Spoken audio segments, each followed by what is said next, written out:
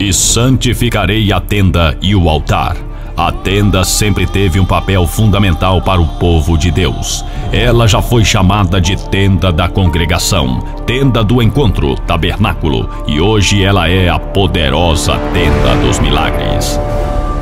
A tenda representava a presença de Deus, a vontade de Deus revelada e a liberação de grandes milagres. Abraão, o pai da fé, recebeu a promessa de Deus dentro da tenda.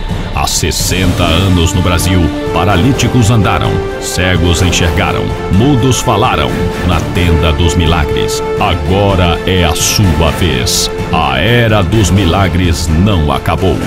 Neste dia 27 de junho, às 7h30 da noite, venha passar pela Tenda dos Milagres no Templo dos Anjos.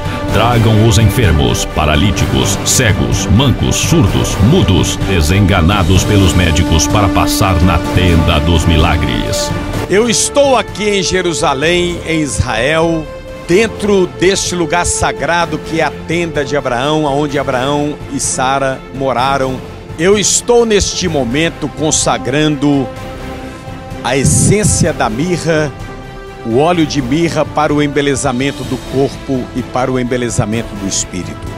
E eu fiz questão de consagrar a mirra aqui na tenda de Abraão, porque Abraão tinha 100 anos, Sara 90 anos, e Deus deu vida a todos os órgãos do corpo de Sara para que ela pudesse ter um filho com 90 anos. Então, Jeová Rafá colocou beleza no corpo e no espírito de Sara, para que ela pudesse se tornar mãe com 90 anos de idade. E é neste lugar que eu consagro a essência da mirra, aqui em Jerusalém, na tenda de Abraão, esse lugar sagrado para abençoar você e toda a sua família no poder do nome de Jesus. Pai, aqui, meu Deus, nesse lugar santo, aonde Abraão morou, na tenda sagrada de Abraão e Sara.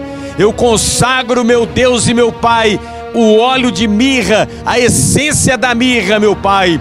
Quem for ungido com este óleo, ele vai receber beleza no seu corpo e beleza no seu espírito, na autoridade e no poder que é no nome de Jesus. Amém, Senhor. Amém. E a participação especial do missionário Braulio Guzmão, o vidente de Deus, o cirurgião divino. Tenda dos Milagres, dia 27 de junho, às 7h30 da noite.